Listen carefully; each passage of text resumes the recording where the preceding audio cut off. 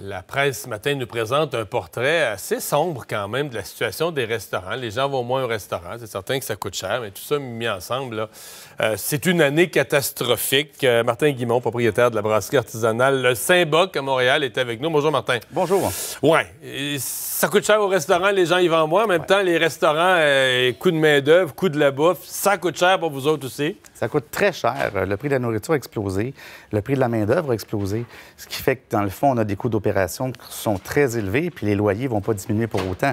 Ce qui fait qu'au bout du compte, si on met en plus la diminution de la clientèle, on se retrouve un peu à culot au pied du mur. Parce que la, diminution de la clientèle, c'est réel, ce que présente ah, la presse aujourd'hui. Ah c'est très réel. Si on fait avant la pandémie 2019 versus maintenant, nous, on est à moins 75% des revenus.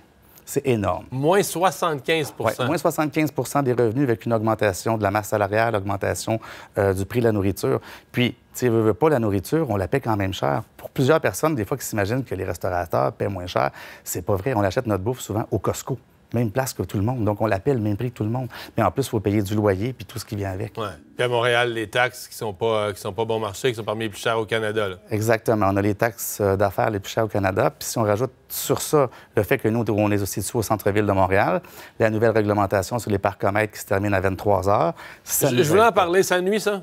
Bien, c'est sûr que ça nuit. C'est essentiellement qu'est-ce qu'on peut faire après 23 heures, euh, après 21 heures, pardon, dans, dans, Montréal, au centre-ville, parce que cette cette chiffre-là, c'est seulement pour euh, l'arrondissement à Ville-Marie. On peut faire quoi après 21 heures? Aller dans les restaurants, les bars et aller voir des spectacles. Donc, c'est essentiellement une taxe sur la culture, la restauration et les bars que les automobilistes doivent, dans le fond, payer après 21 heures. Oui, deux heures de stationnement de plus, mais est-ce que ça fait pas, partie d'un ensemble? Moi, j'en suis un, le type de banlieue, là, puis toi, la fin de semaine, revenir à Montréal, autrefois, ça me dit. Bon, on a l'impression que Montréal, il y a une politique, il y a du monde qui a un tableau, puis qui disent comment on pourrait écœurer le monde de venir à Montréal? Puis là, ils, pensent à des nouvelles affaires, puis ils en rajoutent. Mais vous souffrez de ça aussi. La, la, clientèle de banlieue fait partie de ceux qui peuvent amener de l'argent dans les commerces du centre-ville? Exact. je sais que c'est triste parce que même sur la rue Saint-Denis, j'ai parlé avec plusieurs commerçants, dont même ce matin. Je sais qu'il y en a plusieurs euh, qui ne le diront pas, mais qui vont fermer les portes après janvier. Donc, ça La rue Saint-Denis, avec les pistes cyclables, il disait que c'est la piste cyclable, elle a amené du monde comme jamais, là.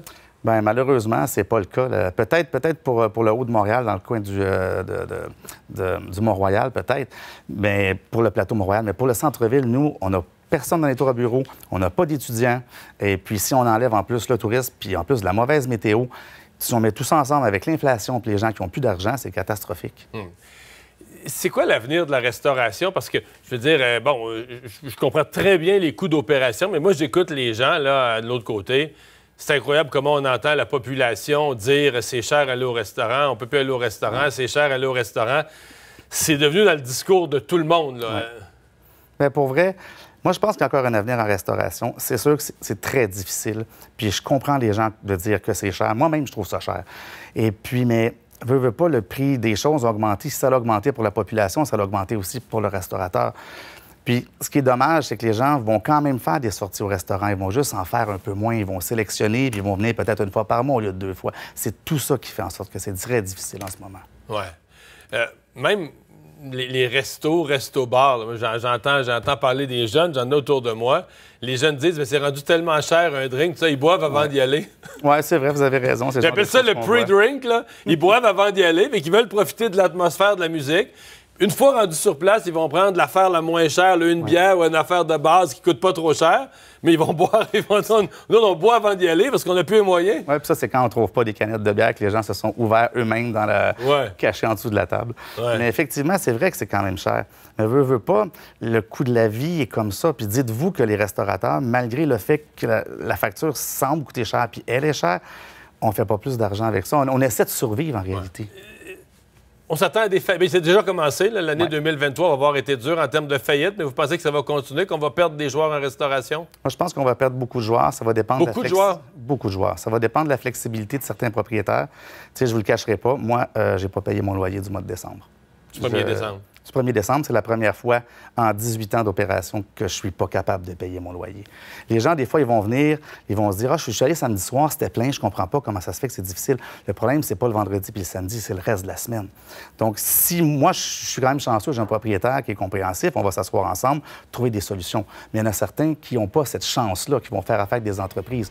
Donc, si ces gens, les, les entreprises qui possèdent des, des business, dans le fond, ne sont pas flexibles pour le loyer. Il y a des Ça joueurs va- qui vont disparaître. Martin Guimond, merci beaucoup. Merci à Au vous. revoir. On s'arrête.